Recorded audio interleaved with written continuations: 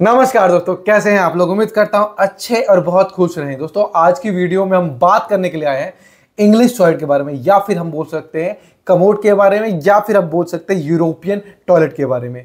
आजकल के टाइम पे बेसिकली देखा गया है कि इंग्लिश टॉयलेट का यूज़ बहुत ज़्यादा होने लगा है। लेकिन यूज़ होने के साथ साथ फिर भी बहुत सारे लोगों को कॉमन बातें या छोटी छोटी बातें पता नहीं होती हैं, जिस कारण से होता क्या है, बहुत सारी मिस्टेक्स होती हैं। बाद में चल के उन्हीं चीज़ों के ऊपर बहुत ज़्यादा खर्चा होता है। क्योंकि दोस्तों, शुरुआत में पता नहीं होता, आप जैसे तैसे आप लगवा तो लेते हो, बाद में यूज़ करने में प्रॉब्लम होता है तो फिर कहना पड़ता है, यार, ये भी लगवाना पड़ेगा क्या अब? अब ये भी काम करवाना पड़ेगा? तो ऐसे में ये सारी प्रॉब्लम्स होती हैं। तो यहाँ पे आज मैं उन्हीं सारी प्रॉब्लम्स के बारे में बात करने के लिए आया हूँ। और अगर आपको ये वीडियो अच्छी लगे तो वीडियो को लाइक करें, अच्छी नहीं लगे तो डिसलाइक करें। यहाँ मैं बेसिकली उन सारी बातों को बताने के लिए आया हूँ, जो बेसिक बेसिक चीज़ों का ध्यान रखना चाहिए। अगर नहीं रखते हो ध्यान तो आगे चल करके आपको हो सकती है दिक्कत। तो दोस्तों, इस वीडियो को शुरू से लेके एंड तक ज़रूर देखें। ये वीडियो आज के टाइम पे बहुत इंफॉर्मेटिव और बहुत ज़रूरी होने वाली है। हो सकता है ये बातें आपको पता हो, लेकिन इन बातों को बनवाते टाइम पे बहुत ज़रूरी रूप से ध्यान रखें। चलिए फटाफट दोस्तों, मैं आपको कमोड दिखाता हूँ और वहाँ पे उस कमोड को दिखा करके सारी वीडियो में बात करता हूँ। फटाफट दोस्तों, यहाँ पे हम इंग्लिश कमोड की तरफ़ आ चुके हैं और यहाँ पे हम बात करते हैं कि अब जब भी आप इंग्लिश कमोड आप लेने वाले हो तो वहाँ पे एक इंपॉर्टेंट बात का ज़रूर ध्यान रखें। वो बात ये है कि एक आपको अच्छे ब्रांड का कमोड लेना है। यहाँ चाहे आप वन पीस कमोड ले रहे हो चाहे आप वॉल माउंट कमोड ले रहे हो, चाहे आप इसका टैंक अलग है और नॉर्मल कमोड है अलग है तो वो वो ले रहे हो। चाहे आप जो भी टॉयलेट ले रहे हो, चाहे आप इंडियन टॉयलेट ले रहे हो तो वहाँ पे एक अच्छे कंपनी का आपको कमोड लेना है। इसका बेनिफिट क्या है? इसका बेनिफिट यह है कि अगर मान लीजिए आने वाले टाइम में साइन खराब हो जाती है आपके टॉयलेट की या कोई दिक्कत आती है टॉयलेट में और अच्छे ब्रांड का आपने टैंक यूज़ किया हुआ है, या अच्छे ब्रांड का कमोड आपने यूज़ किया हुआ है तो आपको ऑन साइड वारंटी मिलती है और साइड पे आ करके आपका जो ये कमोड है उसको ठीक करके जाते हैं। हो सकता है अनदर ब्रांड में भी आपको या फिर अन अदर उसमें भी आपको ये वारंटी मिले मतलब कि अनदर कंपनी या फिर कोई नई कंपनी में भी वारंटी मिले। लेकिन उसमें प्रॉब्लम बहुत ज़्यादा होती है। या फिर आपको दुकानदार बोलता है कि वारंटी तो इसमें भी है। बट होता क्या है कि काफ़ी बार आपको कमोड निकाल के लेके जाना होता है दुकान पे, तब जाके वो चेंज करके देते हैं, जो कि बहुत ज़्यादा आपको दिक्कत देता है प्रॉब्लम देता है। तो यहाँ पे होता क्या कि जब भी आप कमोड लगा रहे हो तो लोगों का सोच यही होता है कि एक टाइम पे लगा रहे हैं और इसको लंबे टाइम तक चलाना है। तो इसमें जल्दी बार बार खर्च ना आए। तो ऐसे में आप एक अच्छे ब्रांड की तरफ़ जाओगे तो वो बार बार आपका खर्च नहीं आएगा। अब मान लीजिए आपने किसी अनदर नए ब्रांड का लगाया, आपको बार बार इसको उखाड़ना, लगाना, फिर टाइल टूटना या पानी का काम करवाना कि कितना खर्चीला और कितना लेंदी प्रोसेस है। और इस कारण से इस प्रोसेस को लोग इग्नोर कर देते हैं और नए कंपनी का लगा लेते हैं, लेकिन थोड़े से पैसे बचाने के चक्कर में। लेकिन होता क्या है, बाद में वही पैसे डबल खर्च हो जाते हैं। अब यहाँ बात कर लेते हैं कि बहुत लोग जो है वास्तु को मानते हैं। अब वास्तु के अनुसार आपका जो टॉयलेट है, किस डायरेक्शन में होना चाहिए? तो वास्तु के अनुसार जो आपका टॉयलेट है, या तो उत्तर दिशा में होना चाहिए, या फिर दक्षिण दिशा में होनी चाहिए। अगर ये अगर उत्तर में हो या फिर दक्षिण में हो, ना तो ये कभी पूर्व में होना चाहिए, ना तो ये कभी पश्चिम में होना चाहिए। अब मतलब पूर्व और पश्चिम में क्यों नहीं होना चाहिए? इसमें अगर पूर्व पश्चिम में होता है तो आपके घर में बहुत सारी प्रॉब्लम्स होंगी।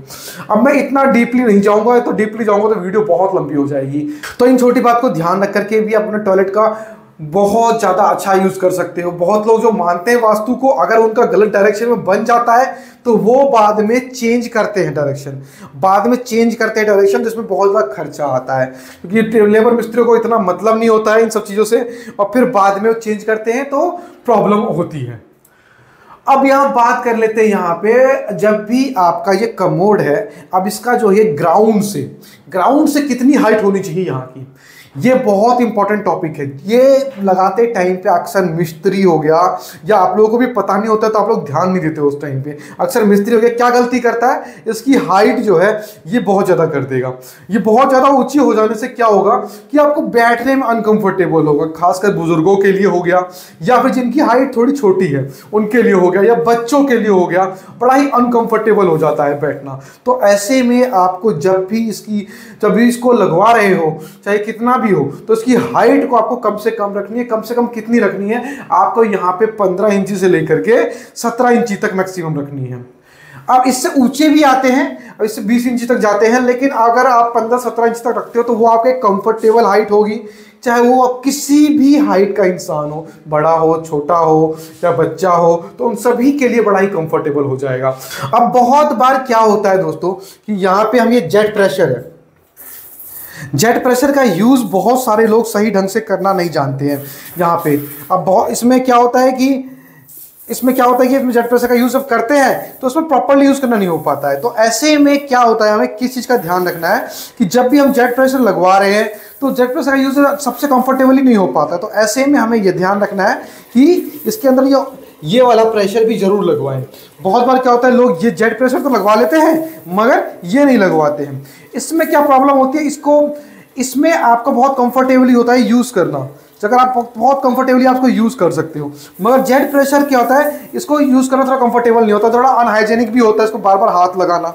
वो उसमें आप, उसमें आपको हाथ लगाने की ज़रूरत नहीं पड़ती है, और इसलिए वो, इसलिए उसको लगवाएँ ज़रूर। यहाँ पे दोनों के दोनों बहुत ज़रूरी होती है। ये ये जेट प्रेशर जो होता है, इसको हेल्थ सॉकेट बोलते हैं, या हेल्थ जेट बोलते हैं, और ये हैंड जेट है, इसको हाथ से चलाने वाला जेट है। मतलब ये दोनों की दोनों, ये दोनों की ही बहुत ही इंपॉर्टेंट है अपने काम के टाइम पे।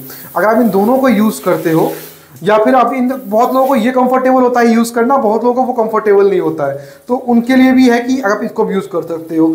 इसको लगाने का क्या बेनिफिट है? इसको लगाने का बेनिफिट है, अगर आपके बाथरूम के आसपास थोड़ा सा टॉयलेट सीट के आसपास अगर गंदगी है तो आप इससे मार करके साफ़ भी कर सकते हो। तो इस बात का ज़रूर ध्यान रखें कि दोनों को लगवाएँ। बहुत लोग क्या करते हैं, ये नहीं लगवाएँगे, खाली वो लगवा लेंगे। उसमें क्या होता है, जब आपको आसपास साफ़ सफ़ाई करनी पड़े तो बड़ी प्रॉब्लम होती है। या फिर टॉयलेट सीट में कोई गंदगी हो जाए तो आपको अलग से पानी बाल्टी में लेकर के फिर डालना पड़ेगा इसमें, जो कि बहुत प्रॉब्लमेटिक है। जेट प्रेशर में अगर कुछ गंदगी रह गई तो आप जेट प्रेशर से भी मार करके साफ़ कर सकते हो। अब एक इंपॉर्टेंट बात, बहुत बार क्या होता है कि आप बहुत जगह जाओगे तो इस जेट प्रेशर का प्रेशर बड़ा तेज होता है। जब भी आप ये काम करवा रहे हो जेट प्रेशर अपने हैंड जेट जो लगवा रहे हो हेल्थ फॉसेट लगवा रहे हो तो इसको, इसका जो प्रेशर का बहुत ज़रूर ध्यान से देखें। ऐसा ना हो कि पानी का प्रेशर ऐसा लग रहा है जिसमें कि आपको चोट लगी। आपकी स्किन पे अगर ये टच हो रहा है पानी तो आपको चोट लगे। इतना इतना ज़्यादा भी प्रेशर नहीं होना चाहिए। इतना ही प्रेशर होना चाहिए कि यह आपके साफ़ सफ़ाई में काम आ सके आपके घर के लिए काम आ सके। और आपके अगर से स्किन पे अगर पानी लगता है, पानी टच होता है तो आपको चोट नहीं लगनी चाहिए। तो जब तो जब बहुत ज़्यादा प्रेशर होता है, काफ़ी जगह तो इतनी ज़्यादा प्रेशर होता है, ये छेद कर दे आपके स्किन में। तो इस बात का ज़रूर ध्यान रखें कि इतना ज़्यादा भी प्रेशर कभी नहीं होना चाहिए। हेल्थ पोसेट में मैंने अक्सर देखा है, होटलों में कहीं भी तो ये इस बात का लोग बहुत ध्यान नहीं रखते हैं, जहाँ पर कि इसमें पानी का प्रेशर बहुत ज़्यादा आता है और बहुत ज़्यादा आने के कारण क्या होता है कि आपका प्रेशर बहुत ज़्यादा आएगा, बहुत ज़्यादा आने के कारण क्या होगा कि प्रॉब्लम होती है इसको यूज़ करने में, ढंग से लोग यूज़ नहीं कर पाते हैं। अब अगली बात बात कर लेते हैं यहाँ पे यहाँ पे फ्लश टैंक के बारे में, ये भी बड़ा इंपॉर्टेंट टॉपिक है। यहाँ इसके बारे में सिर्फ़ दो बातें हैं, ज़्यादा बड़ी बातें नहीं है।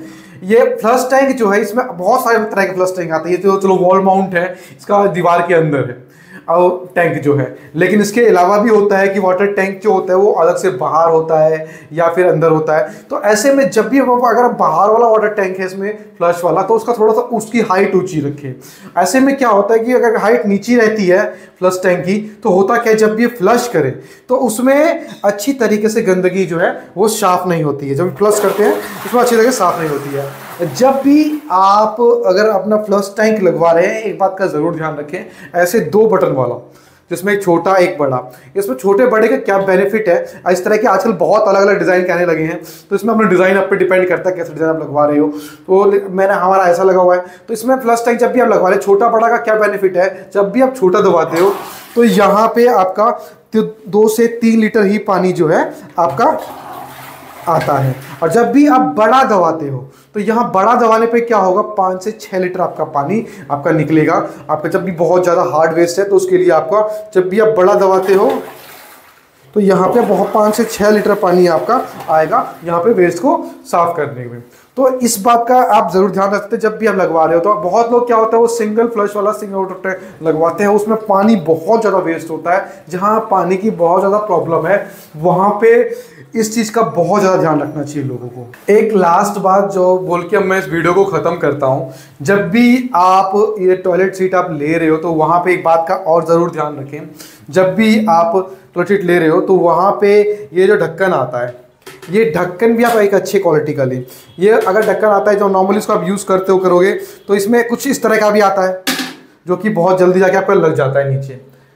ये इसको नीचे से ये बहुत जल्दी नीचे लग जाता है। या फिर वो एक हाइड्रोलिक प्रेशर वाला आता है, जिसमें क्या होता है कि इसकी ढक्कन जो है बहुत आराम आराम आराम से जाएगा, कोई आवाज़ नहीं करेगा, ये नीचे लगेगा, या फिर बहुत आराम से जाएगा।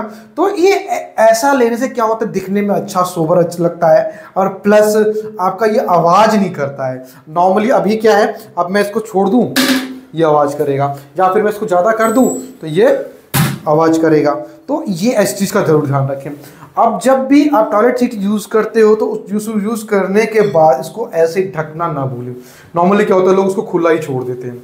घर में खुला छोड़ने का कोई बेनिफिट नहीं है। इससे क्या होता है कि गंदगी जो है, वो आपके घर में भी हो सकती है। तो ये वीडियो मैं यहाँ समाप्त करता हूँ। हो सकता है ये सारी बातें आपको पहले भी पता हो। या ये सारी बातें आपको पहले पता हो। लेकिन ये सारी बातें बहुत इंपॉर्टेंट है। जब भी आप अपना टॉयलेट सीट तक लगवा रहे हो इंग्लिश टॉयलेट लगवा रहे हो तो इन सब बातों को ज़रूर ध्यान रखें। ये ये छोटी छोटी बातें होती हैं, जिसको लोग ध्यान नहीं रखते हैं, बाद में क्या होता है कि बाद में इन सब छोटे छोटे चक्कर में दोबारा तोड़वाओ टाइल तोड़वाओ, और टाइल तोड़वाओ, फिर खर्चे अलग से लगवाओ। तो इस बात को ध्यान रख करके आप अपना अच्छा टॉयलेट सीट या अच्छा बाथरूम बना सकते हो। चलो दोस्तों, जय हिंद, जय भारत, जल्दी मिलते हैं अगली और एक और इंपॉर्टेंट वीडियो में।